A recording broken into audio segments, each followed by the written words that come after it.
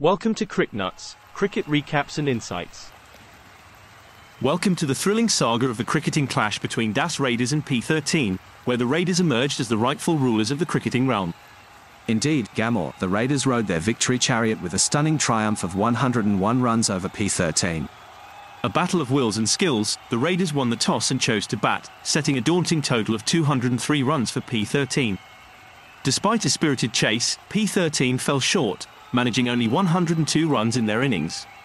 The Raiders' decision to bat first certainly paid off, with their bowlers then taking full advantage of the pressure of the chase on P13. Agastya Chevale was the star of the Raiders' innings, remaining not out on 77 and sharing a significant partnership of 98 runs with Oman Panchal.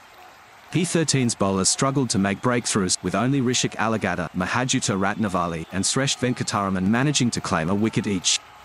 P13's batting lineup crumbled under the pressure of the chase, with Sresh Venkataraman, Rishik Alagadda, and Tanish Sethi making the only notable contributions. The Raiders' bowlers were on fire, with Agastya Chevale and Arav Roy taking two wickets each and Oman Panchal chipping in with a wicket as well. Agastya Chevale was undoubtedly the star of the match, contributing significantly with both bat and ball. Oman Panchal also played a crucial role in the Raiders' victory. I agree, Gamal. Arav Roy's bowling was also key in restricting P13's run chase.